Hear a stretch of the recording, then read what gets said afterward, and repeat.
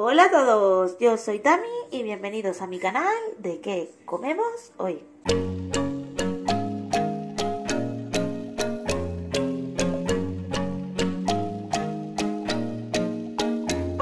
Lo primero que vamos a hacer es poner las patatas en una olla porque vamos a cocerlas. Yo en mi caso las voy a cocer en una olla express que me tardará alrededor de 5 o 6 minutos una vez que empiece a salir el vapor del pitorro. Si lo hacéis en una olla convencional, pues tardará unos 20 minutos más o menos. Una vez la hemos cubierto de agua, le ponemos un puñado de sal y un chorrito de vinagre. Esto no os preocupéis que no le va a dar ningún sabor. Esto eh, sirve para que no se nos raje nuestra patata. Ponemos en un cuenco, en un bol, tres ñoras y vamos a ponerla en agua caliente para que se vayan hidratando. Ahora picamos las cebollas a trocitos más o menos así, en cuadrados. Hacemos lo mismo con el pimiento rojo. Y lo mismo con el verde. En una sartén amplia u olla bajita, con lo que queráis, lo que tengáis, esto es lo de menos.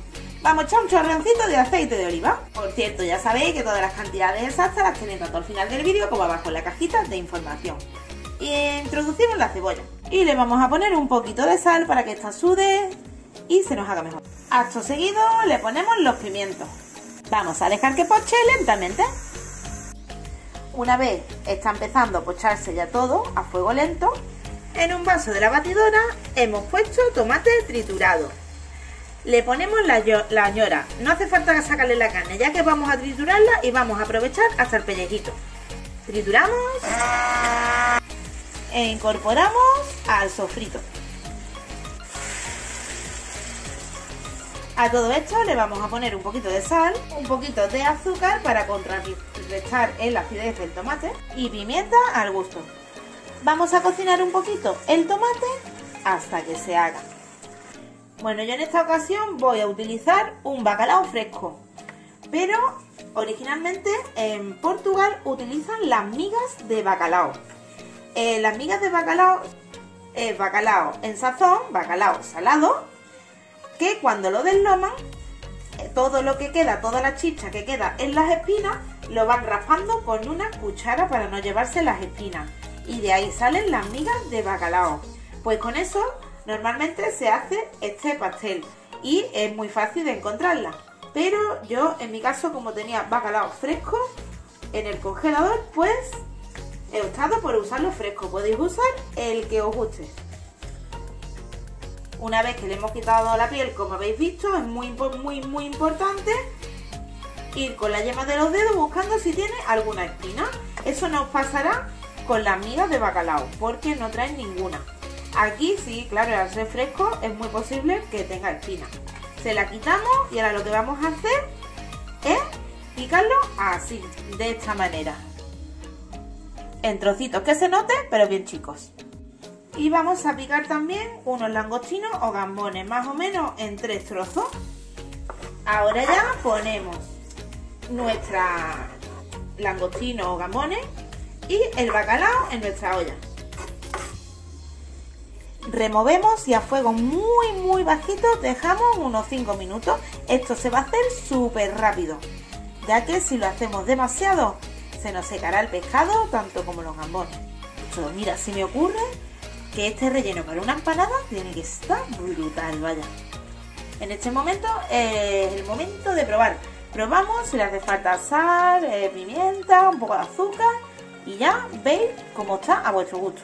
Pues ya aquí tengo las patatas que las he pelado. Importante que estén calentitas. Le ponemos un poquito de sal, un poquito de pimienta y esto es totalmente opcional, pero a mí me gusta ponerle un poquito de nuez moscada, pero esto es opcional. Le voy a poner un chorrito de aceite de oliva, también lo podéis sustituir por mantequilla. Y le vamos a poner la leche. Aunque yo ponga en los ingredientes la cantidad de leche que yo he puesto, por cierto la leche debe de estar caliente, eh, eso dependerá mucho de la patata que uséis. Eh, algunas absorberán más y otras menos.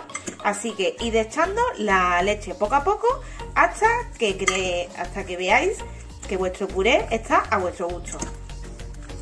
Mirad, a mí me gusta así, que esté cremosito. Ahora, en cualquier recipiente mm, tiene que ser apto para horno, es lo único. De lo normal, el pastel portugués suelen ponerlo de forma rectangular, pero a mí me apetece ponerlo redondo, yo creo que eso no tiene nada que ver. Así que ponemos una capa de puré de patatas y capa de relleno.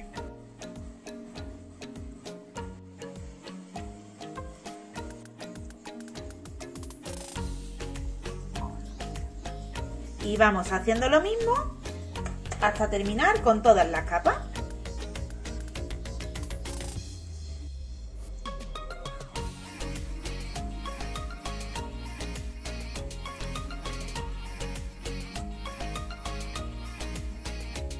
Una vez tenemos todas las capas listas, vamos a pinchar con un tenedor. E incorporamos un huevo batido con un poquito de sal. De esta manera con los pinchacitos lo que hacemos es que se va introduciendo por dentro. Seguidamente le ponemos el queso rallado. Yo en este caso he rallado mi propio queso, que es un queso semicurado. Evidentemente podéis ponerle el queso que más os guste. Y ya como último ingrediente, las aceitunas, que pueden ser verdes o negras.